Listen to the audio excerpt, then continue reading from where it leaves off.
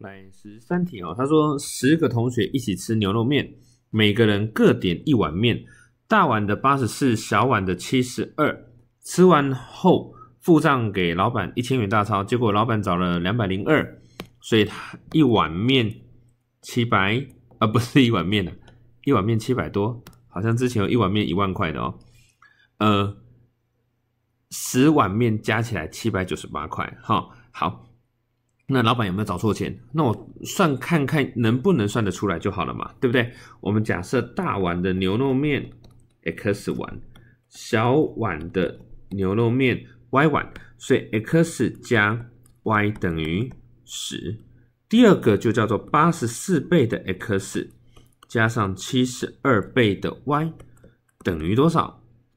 七百九十八，OK 吗？好，算看看能不能算得出来哈。呃，上面同乘七十二倍，好不好？